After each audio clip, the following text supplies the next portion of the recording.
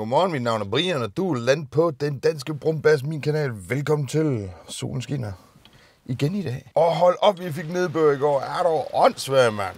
Hold kæft, vi fik nedbør i går, trods solen den skinnede sig om morgenen, og vejret var faktisk rigtig lækkert, lige dengang, da jeg kom hjem. Så holdt det op med at være ret lækkert. og det gik pænt stærkt. Vi fik med godt nogle nedbør i går. Er du åndssvær, mand? Men det tænker jeg, det var en, det var en landsdækkende oplevelse. I hvert fald min stærke overbevisning. Og overbevisning. At det var det. Godmorgen, godmorgen og velkommen til. Jeg har ikke de første to skolebørn. Hverken ud eller hjem. Det er faktisk lidt vildt. Klokken den er 06... Nej, jo 06 53. Og vi kører hjem fra nu.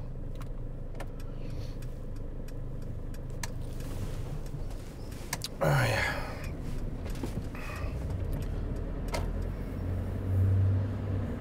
Yeah.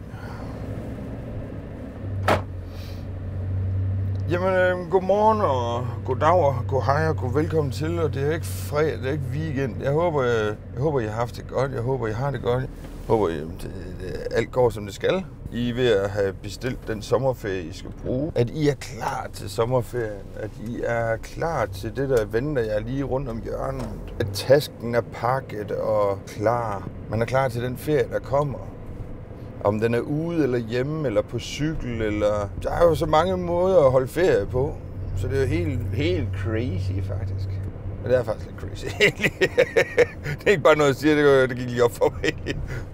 Så var det bare noget, jeg sagde, ja, okay, godt ord igen. Ja, nej, det var der, det er nogen, der virkelig følger med, det er godt. Det er godt. Jeg har fået med at slukke noget Drastrup lige i øjeblikket, så øh, det kan godt være, at jeg kommer til at snakke en del om ham, men jeg prøver, jeg prøver, jeg prøver lige at lade være. Så meget kredit skal han jo heller ikke have. Han er sød, han er dejlig, han er, han er til at arbejde med, han er en god dreng. Han er mange ting, det er han i hvert fald. Han er super dygtig til det, han laver. Men han har også haft noget, noget øh, erfaring. Brokker han sig lidt over, øh, jeg får set en masse af det. Det er nemt nok, når du har lavet nogen, der er et sted mellem 5 4. Jeg tror, den korteste, jeg har set indtil videre, den har været 3 minutter. Den længste indtil videre, jeg har set, den har været 7 minutter og 2 sekunder eller sådan noget andet. Den så jeg i går. Det skal ikke alt sammen dreje sig om Christian, det ved jeg godt. Hvad form for ferie skal du holde, hvis du skal holde nogen former for ferie? Spørgsmålstegn. Og skal du overhovedet på ferie? Spørgsmålstegn. Så ved jeg ikke lige, hvad jeg ellers skal give jer. Så, så, øh, så, øh, så kører jeg bare. Så. Altså, det er ikke meget tid til at have hovedet i blød. Det er det ikke. Fra i går til i dag. Det, det er det ikke. Jeg væltede ikke bare idéer og, og tænkte, hold nu op, man, det er alt det, jeg skal. Det, det, det, jeg skal give jer så meget på én gang, så I slet ikke fatter, hvad manden snakker om. Der er vel egentlig ikke så meget at sige, enten at øh, det har været en, øh, det har været en elendig nat, faktisk. Jeg sovet dårligt. Jeg synes, jeg sover generelt dårligt lige for tiden, faktisk. Jeg ved egentlig ikke lige, hvorfor. Jeg går lidt ind under frustrerende. Frustrerende. For der er ikke noget bedre, end når du har en god nats søvn. Det, det er der bare ikke. Det gider jeg slet ikke diskutere med nogen af jer. Medmindre man har en... Nej, en god nats søvn. Hvis du vælger at være ude hele natten og give den gas og drikke bajer og synge og øl, erhvervs, tidskone og hornmusik, så... Øh, eller bare tidskone. Ej, det er nok ikke så meget erhvervs. Nej. Øl, tidskone og hornmusik, ikke også? Når, når det nu er det, så er det ikke om natten, du sover længere, så bliver det om dagen, for du har festet hele natten jo, ikke også? Og så bliver det ikke en god nats søvn. Det må du jo lige kunne forholde dig til, når jeg siger det sådan, når jeg siger det. For det er sådan, jeg siger det, når jeg siger det. Fordi jeg er sej.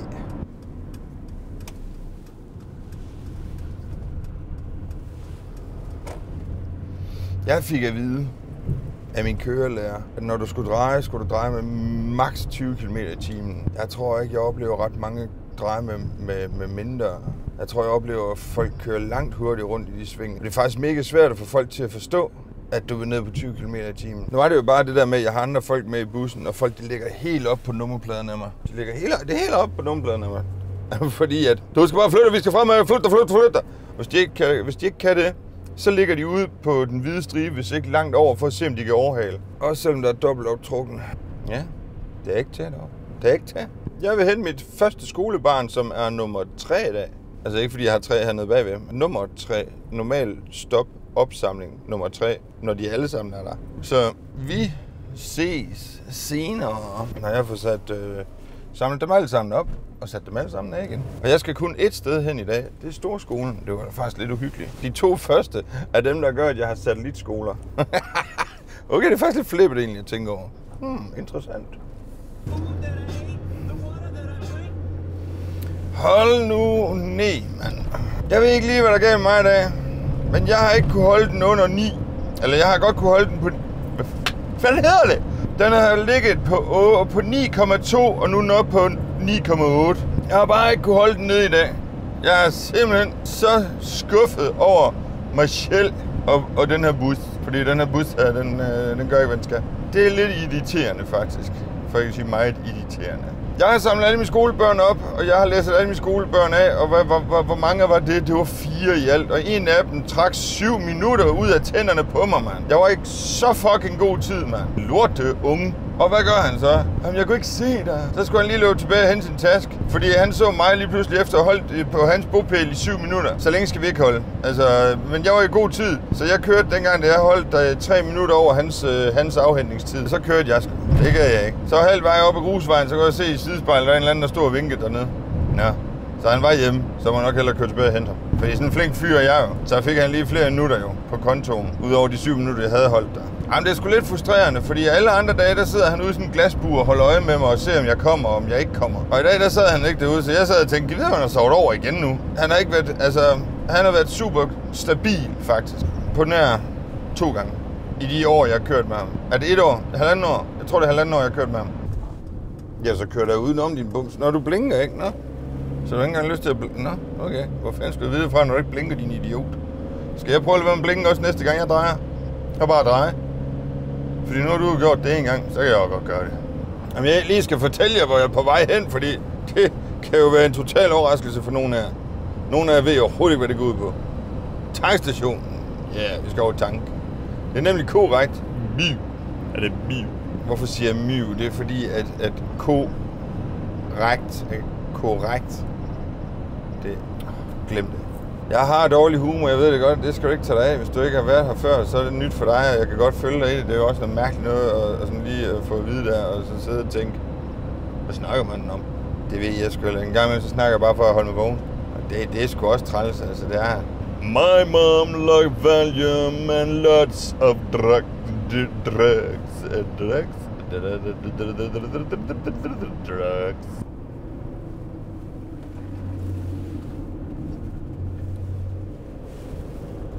Igen så blinkede den ikke. Det var træls, skulle samme vej som mig, så det var da meget heldigt et eller andet sted. Men igen så blinkede den ikke. Den ligger bare og drejer dig om uden at blinke. Det vil jeg da prøve så. Så sparer jeg jo kræfter. Jeg sparer mange kræfter. Hold op og sparer mange kræfter. Alle de kræfter, jeg sparer. My mom love Valium and lots of drugs. Altså det er sjovt nok, fordi den kan finde ud af at køre hurtigt, når det går lige ud. I sving, og når der kommer forhindringer, så begynder den at blive nervøs. Hvad fanden er det for en chauffør?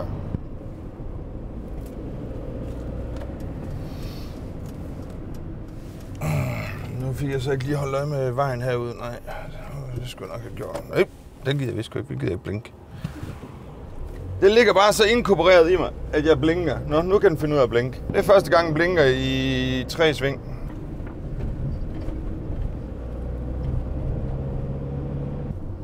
Så jeg kan styre på dit shit, så skal du kraften ikke blande dig i mit. Jeg ved ikke lige, hvad jeg skal sige Jan. Øh, numsehuller. I er nogle små, fine numsehuller alle sammen. 9,8. Det går ikke godt i dag. Det går fandme galt med ikke godt, der. Det er noget alvorligt erhvervsdiskon, det her, du. Jeg glemte også at hilse på bussen, fordi jeg var så irriteret over det der. Det er utroligt. Jeg skal ingenting til. Nå, jeg ved ikke lige, hvad jeg skal give jer ud over. Jeg er på vej over for at tanke, så det gør jeg. Kan I hygge jer? Hej så længe. Hej så længe. Hej, hej så længe. Opfør ordentligt. Hold jer mund, eller? God fornøjelse med det. Står det stadigvæk efter regnen? Ja, ja. det var godt. Nu har jeg lagt det, jeg ved ikke, hvor mange dage. Hvorfor? På grund af armen? Nå, på grund af det der med maden der. Jeg har lagt Ja. ja. ikke meget på langt tre dage, mand. Stærkt foder. Det skal man holde sig fra, hvis man ikke kan tåle det. Men Jamen, det, det- det... gjorde ondt, fordi jeg har lagt ikke mig i tre dage. Okay. Derfor var det ikke. Se, Yes, vi gør. Nu kørte jeg jo ikke 12 ture i går, det skal vi lige huske. Og hvis jeg gjorde, så kørte jeg det halve af den. Så derfor så tror jeg, den er meget, meget langt nede, men jeg synes ikke, det er gået særlig godt i dag. Det her, det er herren over ved siden af, men det så ikke alt for godt ud. Det synes jeg faktisk ikke, det gjorde. Det må sgu altid stå. Og har jeg vist en rockvuld, der gerne vil også. Jeg ved sgu ikke lige, hvad han vil. Men øh, to Webstrup-køretøjer, der lige holder i vejen der, det er også træls. Der er bare nogen, som jeg siger, af vores kollegaer, der kan snakke. Og det, det skal jeg love for, at det kunne han. Øhm, og jeg står bare der og gerne vil lave mit optagelse og opklæ- øh, lave mit klip, og så vil jeg bare gerne vide. jeg ved sgu ikke, om han kommer på fredag, men det er godt at se, at han er stadigvæk her i firmaet. Fordi der går nogle snakke frem og tilbage ude i præferien om, at han ikke er her længere. Og det kan jeg jo så se der stadigvæk. Det er det, jeg hader ved folk. Der er nogen, der snakker for mig uden at vide en skid. Og det synes jeg er pisseirriterende. Jeg var ude og køre tidligere, og oppe ved brandstationen, tankstationen, der siger jeg simpelthen, at mennesker, der går med slader, bryder sig mig ikke om. Og det gør jeg ikke. Jeg bryder mig heller ikke om folk, der lyver.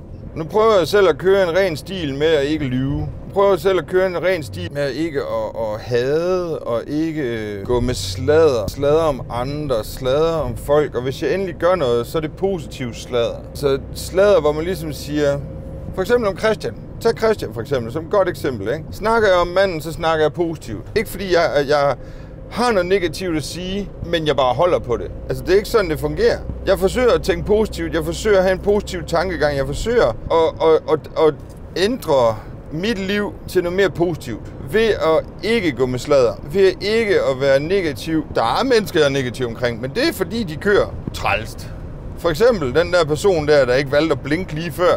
Hvad fanden er det for noget? Hvorfor blinker man ikke? Jeg skulle da godt lige tage at blinke og fortælle mig, hvad vej du vil. Om du ligger bagved eller foran, det er da fuldstændig mig lige mig. Jeg vil bare gerne have, at du fortæller mig, hvad fanden du har gang i der om bagved. Fordi for mig giver det ingen mening, at du ikke skal fortælle mig, at du faktisk kører samme vej som mig. Hvad nu, hvis jeg har planer om at køre ind på en vej, og så klods bremsen, fordi at jeg egentlig skulle lige kigge min telefon, og du har ikke vist, at du vil den her vej så holder jeg sgu bare stille der. Altså, man ved aldrig, hvad der foregår inde i andre folks hoveder, og lige så bange, så, så holder de stille, eller også så har de lige en anden idé. Tag de kommunale, de parkerer hvor som helst på vejstrækninger. Før sving, efter sving, i sving, altså...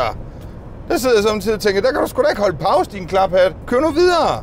Lige halvanden 100 meter længere frem, hvor der kommer en lige strækning, hvor man kan få et ordentligt overblik over, hvem kommer der? Kan jeg nå at køre udenom dig, eller skal jeg holde stille, eller skal jeg nå at sætte farten ned? Kan jeg nå at, og, øhm, at afbalancere min hastighed til den modkørende, der kommer, så ingen af os behøver at stanse eller bremse, fordi du vælger at holde lige der midt i vejkanten. Men hvad fanden er for noget? Og nu er det ikke kun de kommunale, jeg snakker om. Det er sgu også indkøbskurve, indkøbsvogn. Men prøv at tænke over næste gang, du slipper en, en uh, indkøbsvogn, indkøbskurv. Når du slipper den, hvor slipper du den hen? Ikke så meget hvilke afdeling, men hvor i gangen du parkerer den, hvor i gangen du slipper den. Der er kraftede med undskyld mit sprog. Der er saftsus med ikke særlig mange mennesker, der lige kaster deres vogn ind til siden. Og hvis du er en af dem, så er det nok fordi, du også er blevet generet tilstrækkeligt nok af andre folk, der går rundt og parkerer deres vogn midt i det hele, fordi de får på en ting, der er derovre. Så nu farer de over efter den for at se på den vare og lader deres vogn stå præcis som de efterlod den, midt i det hele. For jo, der er der mennesker, jeg kan blive gal på, der er mennesker, jeg kan sure over og træt af, og... men jeg går ikke med sladder omkring, hvis jeg fortæller. Er det, er det at gå med sladder? Er det ikke bare at ytre min mening? Jeg sidder her og ytrer min mening offentligt. De kan komme hen og se den, hvis de har lyst. Hvis de finder ud af, hvad jeg hedder, hvordan de finder mig, eller et eller andet den stil, så, så kan de jo gå ind og, og, øh, og se min mening omkring det. Ikke? Det tænker jeg da i hvert fald. Det kan godt være, at jeg tager fejl. Det kan godt være, at det her det er bare at gå med sladder. Eller skal sladder bas- baseres på en person, en personlighed eller et navn? Det ved jeg faktisk ikke. Er der regler for sådan noget? Spørgsmålstegn. Øj, er der regler for, hvad sladder er? Hvornår er det sladder? Hvorfor er det sladder? Drejer det sig om en person, flere personer, en personlighed, et navn? Hvad? Spørgsmålstegn. Ja! Yeah! Jeg er på vej over for at hente en lille pige på jul. Jeg har ikke haft en 12-tur. Hyperfyrsten, den var ikke særlig sød ved mig i dag. Jeg får også børn over for arten af. Og derefter så skulle det vist være min egen skolebørn. Jeg har været over og hente lille pige på jul. Men lille pige på jul i dag havde ingen jul på. Ja. Så hvad betyder det? Det betyder, at jeg skulle ikke ned og have kontakt med hende. Jeg skulle ikke have ned og decideret kigge på hende, snak med hende. Jeg behøvede slet ikke. Fordi hendes kørestol var gået i stykker. Der er nogen, der lyttede til mig deroppe. jeg plejer at sige, punkter julen, ikke? Men det var så bare gået i stykker. Fedt nok, mand. Oh ja. Så det var jeg rimelig glad og taknemmelig over. Det må jeg nok have lov at kende. Det var fedt. Så jeg skulle bare... øh, Jeg var i gang med at smide ting og sager på dernede og øh, lægge vippen ud og, og åbne op og alt det pjat der. Så kommer søsteren ud, så siger hun, øh, hun har altså ikke sin, øh, hun har altså ikke sin øh, kørestol med i dag, fordi den er gået i stykker og holder derhjemme. Ved du hvad? Tusind tak for info. Det var da dejligt. Så kan jeg pakke sammen med det samme igen. Tak skal du have. Det var sødt dig. Og så var jeg fri for, og, og det synes jeg skulle da var mega godt, mand. Det var da ultra cool. Så jeg skyndte mig at pakke sammen igen, og så satte jeg mig op bagved. Så dengang jeg skulle læse mail, jeg skulle bare trykke på en knap. Bang! Ude med lortunger. det var fedt. Det var fedt. Det kunne jeg godt lide. Det havde jeg det rigtig, rigtig godt med. Så øh, det var en nem omgang i dag at køre med Lotte Pige med, med, fra Lotte med Lotte... Det, der, der, bang! Hende. Kraft i helvede. Kraft i helvede! Problemet så bare det, at jeg har ikke været inde på hendes vognløb. Ups. Undskyld løber fyrst, hvis du ser det her. Vi har lige en modkørende. Ja, 173, yes. Og jeg er på vej mod Arten for at hente små børn derovre. Eller små børn er det jo ikke. Jeg har, jeg har set en, han, han kører rundt med sådan en helt... Jeg sværger, man skulle dele nemme tro, at han arbejdede som sælger for autostol. Han har næsten alle slags i sit køretøj. der, er nærmest ikke, der er nærmest ikke et sted, hvor der ikke er sådan en autostol. han har autostol her. Han har autostol lige bagved, han har autostol derovre, og, og, og næste række igen, der har han også autostol. Og så tror jeg nok, han har en autostol længere ned også. Altså, ja, der, der må jeg nok sige, det, det, det går nok mange autostole et sted.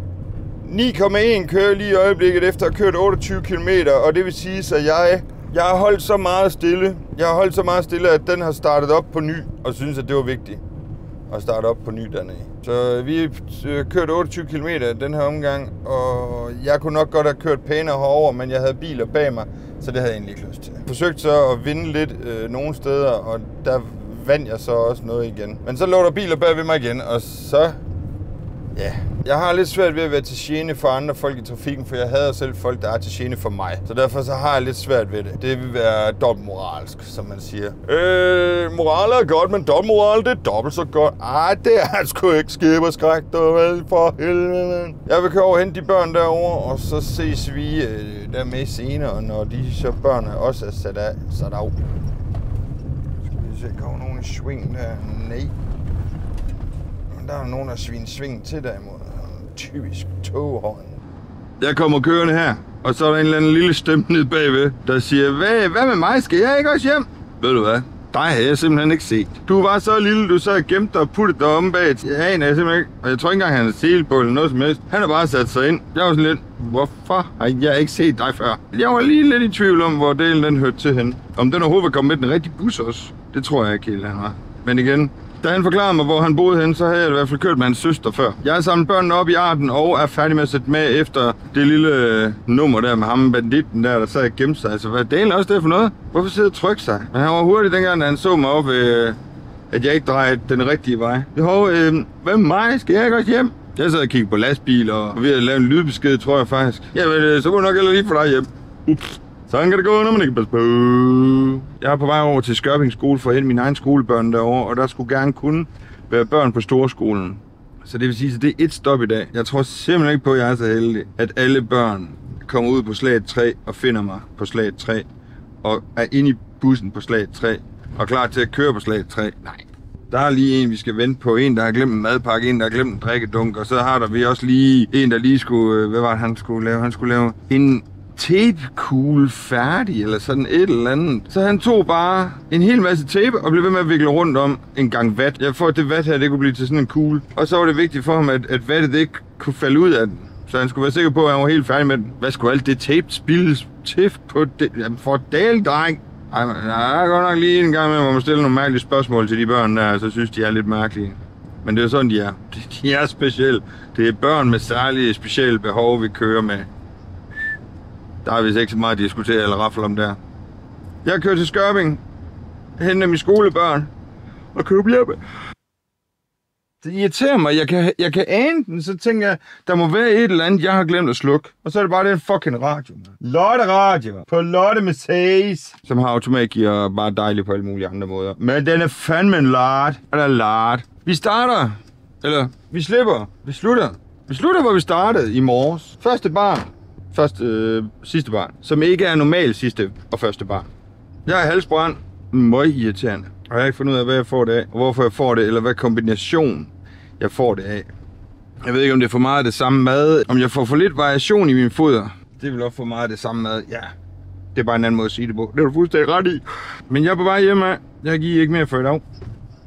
Klokken er 15.43, og det var det.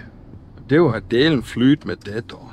Så jeg håber, du har det godt. Jeg håber, du har haft en god dag. Jeg håber, du, hvad du så end har lavet, har det godt bare generelt. Bare generelt. Har det godt. Så jeg siger, mit navn, det var Brian, og jeg siger tusind tak, fordi du kiggede ind. Kan du holde den flyvende, til vi ses igen? Moin så længe. Woo!